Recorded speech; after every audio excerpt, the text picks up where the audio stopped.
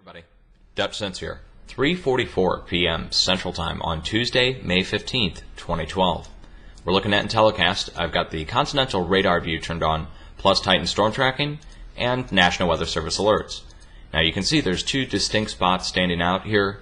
Basically, South Texas, South Florida, going northeast through North Carolina. Now let's first look at Texas.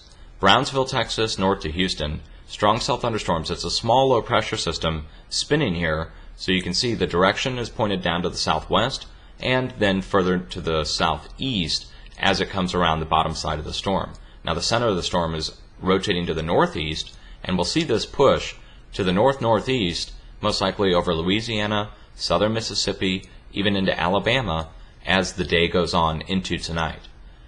Now let me go ahead and turn off Titan storm tracking, which is showing hail and strong cell thunderstorms by the way.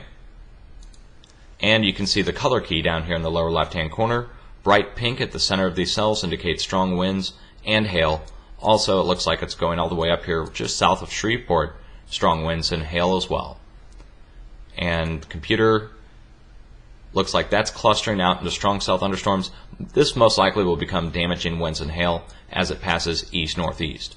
Now look at Florida, and you can see down here in South Florida, the Keys down here near Key Largo going north through Miami right up through Orlando, the computer has hail detected at all these different cells. And then going further north, National Weather Service has issued multiple severe thunderstorm warnings and watches. So the warnings are in the dark yellow, and that would be down here near the border of Georgia and South Carolina. Also up here at the border of Kentucky and North Carolina, and also even maybe extending as far north as Richmond, Virginia eventually here over the next few hours.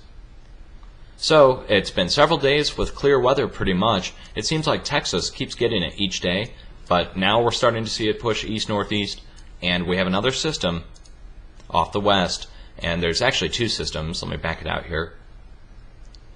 Okay, you've got one further north up here near the uh, Gulf of Alaska coming in over British Columbia, and then a further system down here to the south. And let me animate this.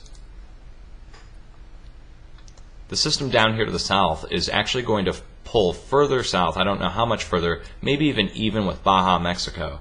But eventually it will be pushed east-northeast as well. And when that happens, we may see additional severe weather develop off this storm when it comes ashore. Now let me zoom in. And they have been hitting this with chemtrail activity, seeding it up, and you can see the remnants right here, these two strips with another one going through it. They've been flying at an angle from the center of the storm outwards.